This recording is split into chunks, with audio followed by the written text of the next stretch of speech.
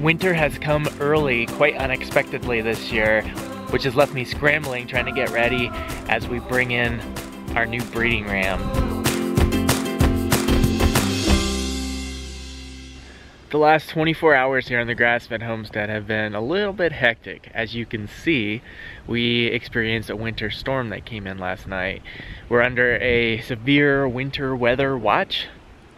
We got about three we got about three or four inches overnight and into this morning, which isn't terrible, but we're expecting another five inches to come tonight, which can start causing problems for our shelter situation given how we're not set up for winter yet. Yesterday afternoon I started putting this new corral together for the sheep. This area right here behind me is going to be the area for our breeding ewes and we're going to introduce the ram in there and this is where all that action is going to happen. They'll be in this corral into December when the breeding cycle is over. I built it off of where our garden area was and what was our winter chicken yard from last year. I used one of the cattle panel walls, if you will, from that to form this just to keep my costs down as much as possible. So it's a 32 by 32 enclosure and again our ewe lambs from this year will not be in here. I'll have to be sorting them out before introducing the ram. Blue, you don't have to stand out there, buddy. You can go under the shelter. So I just started working on this yesterday afternoon to receive the RAM today. I thought I would have this all finished and I got a notice from Tess saying she had to come yesterday evening to drop off the RAM because she couldn't because with the winter storm coming she wasn't sure if she was going to be able to drive her trailer. I wanted to film putting up this area and showing you what we did with the cattle panels over here for the temporary shelter but it was such a frantic, desperate situation, I did not even have time to film it. I got this idea to make the shelter this way from one of our viewers, Richard. Basically what we have is a corral panel, which is 12 foot long. It's made out of steel on one side and then another one on the other side. Originally this corral panel was connected to the other two and was serving as the back of the frame for this, but the 12 foot width of it was leaving was not allowing for enough arch on the cattle panel to hold any kind of snow load. A very slight arch on it, which would have likely collapsed with the snow coming in, and I didn't have an and I did not have enough time to even start framing. Tess arrived a couple hours before dark. She helped me finish putting the corral together, getting this shelter up. We finished just at dark with that. Then I had to get the ewes over to here from pasture and get the ram from the trailer and we got him loaded into what was our original pig corral. To secure the cattle panels to the corral panel, I'm using two inch hose clamps, which is doing an excellent job of keeping this really firm on there. I do need to make a few adjustments to get this side of the tarp down further because our northern wind is coming right through there. So that'll help give them a little windbreak. And I do need to put up some kind of framing in here. I'm a little concerned with the five inches of snow coming overnight. But at least for right now, the girls are okay in here. They're happy, they're being well fed. But it was an absolutely miserable experience doing that last night into the dark.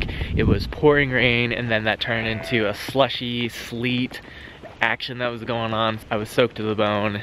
It wasn't fun. Then I came out here to the hay barn, formerly known as the carport, this morning to do morning chores, and there was a good dusting of snow on my hay, which is of course not good.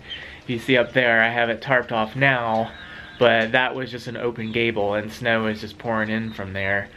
I got up on a ladder with the tarp and I screwed, I put screws through those wood strips to hold the tarp down so it wouldn't just shred in the wind and I'm hoping that it holds unless we have some severe gusts it should be fine. And we do still have a little bit of gap there but I don't think that's significant enough. The snow would have to come in at a really odd angle for it to hit my hay from that little hole there. The piglets are doing just fine. They're actually just finishing their breakfast now even though it's after lunch. They refused to come out of their shelter. They were just huddled up in there and have finally decided to come out and eat at lunchtime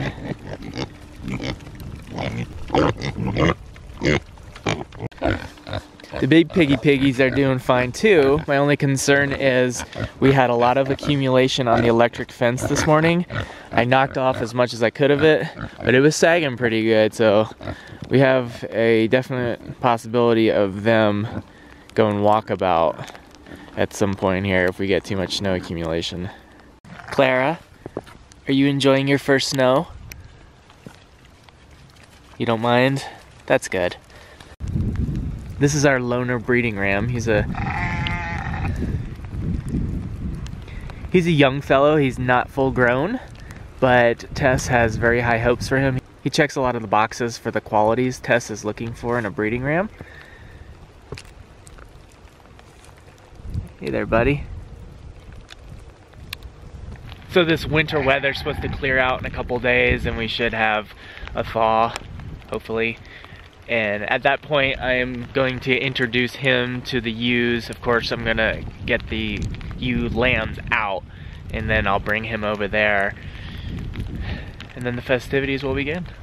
The chickens in the chickshaw are not really happy about this. Of course, we haven't gotten them into their winter housing situation. They're still out on pasture. This whole storm thing caught me completely off guard when I was trying to deal with sheep and just didn't have time to deal with chickens and pigs. We probably only have three, three and a half hours of daylight left. My friend David is coming over. He's gonna help me do something just to get that structure a little bit more secure so it can withstand the weather coming in tonight.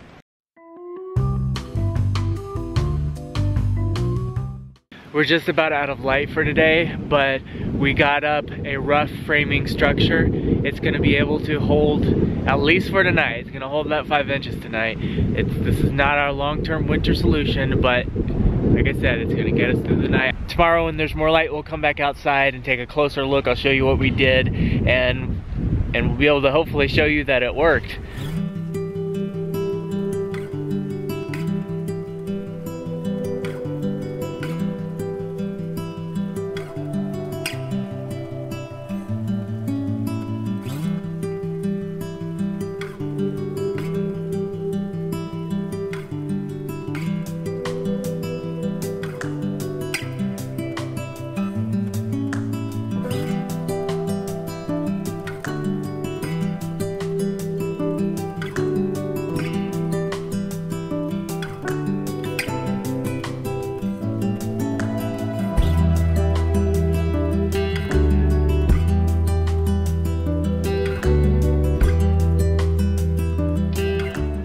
The structure is still standing and despite getting several inches of snow overnight, there's really very, very little accumulation on the top of it. I am still getting snow in on the hay bales, which is definitely not good. I suspect it's coming in through that crack there between the roof and the framing there. All my other tarps are covered in snow right now, so I'm gonna see if I can get up there, brush some of the snow off, and I'll have to go out and see if I can bring home a fresh tarp to put up there to cover the top of the hay.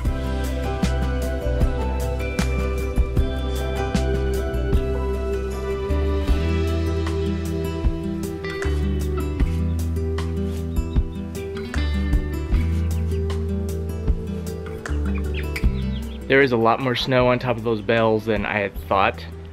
Not good. I'm gonna have to, definitely gonna have to get them cleared out and tarp that area up there well. Let me show you what we did to frame this last night and get it a little bit stronger to hold the snow load temporarily.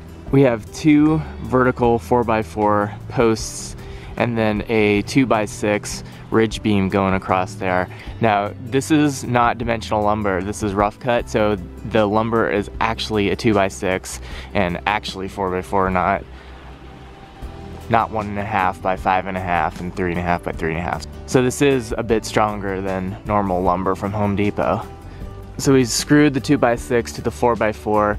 I did not have long enough bolts to go through the 4x4. If I had notched the 4x4, I could have bolted it through, but we were really racing against the clock and uh, notching it would have added a lot of time to the project. So we put these right under it to give it additional support so if the weight starts building up, the screws are going to be a little bit stronger and less likely to shear off with a bunch more screws in the fixture there. We have a T-post driven into the ground right here, and then fencing wire wrapped around it on the top, and then again down at the bottom just to really stabilize this post. On the top, I hammered in a few fencing staples to secure the cattle panel to the post. I did the same on the other side back here, and then and back here on this post, this is the backside uh, of the structure, I have fencing staples pounded in all along the cattle panel securing this post to the cattle panels. We put the height of this beam so it was actually pushing up slightly on the cattle panels. So the cattle panels aren't gonna be sinking down and meeting the beam. The beam is already making contact with it, making it pretty strong. In a couple days, the weather's supposed to clear up a little bit and I'm going to be bolting and adding more bracing to the 4x4s so we don't get any swaying or lateral moving. Uh, at this point, it's pretty solid as it is, but if we get a really, really heavy snowstorm, we're, we're kind of experiencing one now, but this uh, is probably just a warm up for the year. If we get a really big one though, I want it to be able to hold, obviously.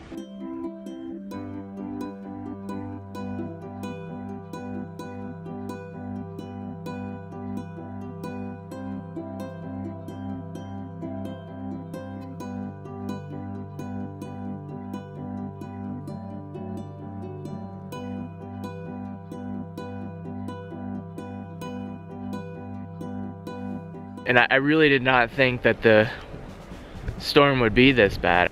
This is a lot for being just in the middle of the fall, this kind of early winter weather. But this is the life of homesteading. Never a dull moment.